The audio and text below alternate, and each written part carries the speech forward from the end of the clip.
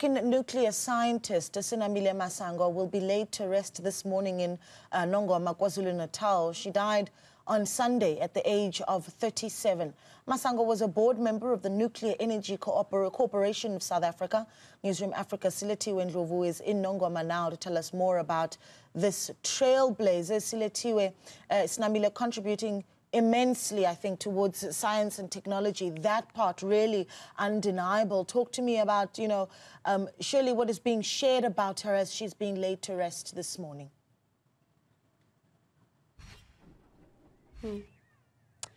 Good morning, Naledi. Uh, quite right. Uh, over the course of this week, we've heard uh, about the immense contribution, uh, or contributions rather, that were made by Senamile Masango when you are looking at uh, science, not only in the country, but also uh, internationally. And as you mentioned, she was a board member at NECSA before her untimely passing. And I just want to bring in members from NECSA to speak to us more um, about Senamile and the legacy that she leaves behind.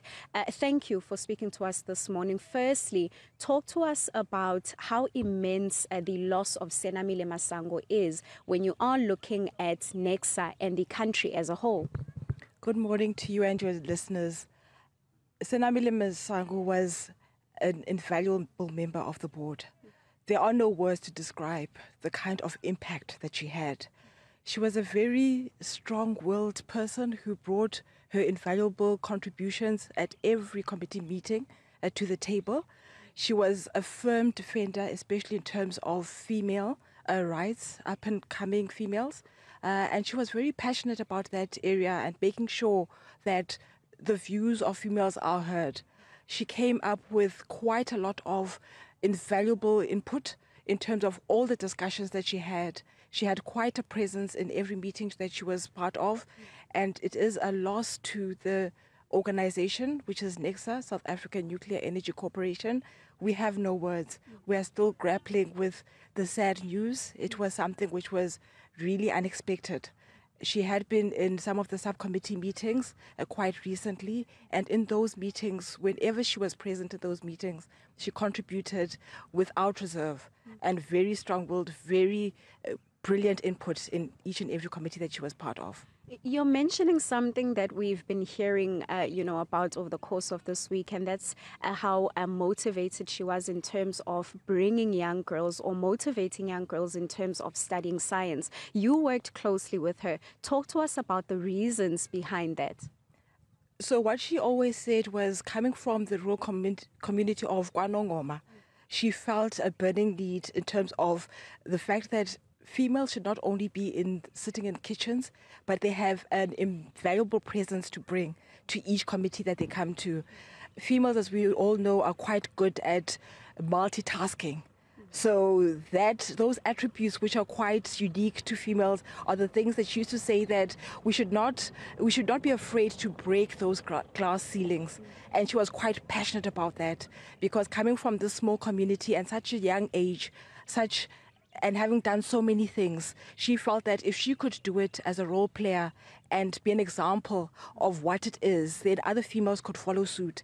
So seeing her having broken those glass ceilings, having gone to those various boardrooms and being able to participate actively and impassionately of where she saw the contribution in terms of science, you could see that she felt that that would actually open up for those who are coming beyond mm-hmm. and behind her. So with all of her foundations and the kind of work that she was doing, it almost felt as if she knew that she had to do as much as possible in the limited amount of time that she had. And uh, uh, Pradesh, I just want to bring you into this conversation because she's mentioning something else that she was quite uh, passionate about, and that is uh, science. Talk to us about perhaps some of the key initiatives that she spearheaded uh, in terms of promoting nuclear science.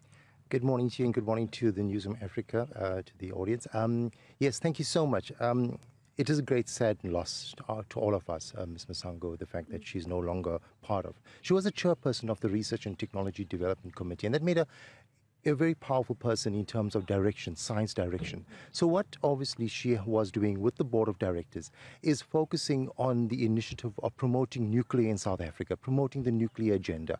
We're talking about nuclear energy, we're talking about nuclear research.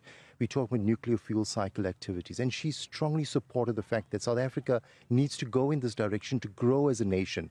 Um, we are creating high level jobs, high level technical jobs. And I like your comment earlier about the fact that you've promoted the youth, especially in terms of science, developing them because they are to be the leaders to, do, to, to run with this for us as South Africans. She was passionate about this. She believed in her in what she was doing. She worked directly with the board of directors, directly with the minister to help promote this agenda and help ensure this is where South Africa is going. Maybe lastly, then, before uh, we let you go, the legacy that she leaves behind, how is the organization going to continue uh, with that legacy? Ms. Masango set the foundation for us to move forward, especially in terms of nuclear technology. Under her leadership, one of the very big projects that has already been approved by Cabinet is the multi-purpose research reactor. So now we have a new research reactor. National Treasury has already allocated the, some of the funds to get this project off the ground, and she takes this legacy with her. This is what she helped us create for this country, for the future of this country. The Safari 1 nuclear reactor was built 60 years ago. It has been a of research for this country. And thanks to her, we are now going to go into the next phase of the next research reactor. Pradesh, thank you so much. Thank you so much, Precious.